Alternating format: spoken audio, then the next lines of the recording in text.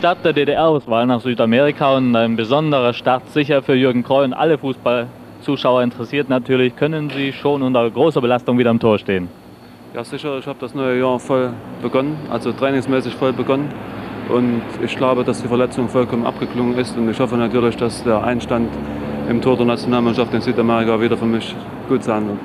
Sie kamen bei der letzten Tournee mit dem Beinamen Elfmeter-Töter wieder zurück in die Heimat. Was erwartet einen Fußballtorhüter in Südamerika vor allem? Für den Torhüter ist es eben ganz besonders wichtig, sich auf, äh, verdeckte Schüsse und Finden und, und FA-Bälle einzustellen. Ansonsten äh, vom Strafraum verzetteln sich die südamerikanischen Spieler oft und das ist für eine aufmerksame Abwehr sicher günstig.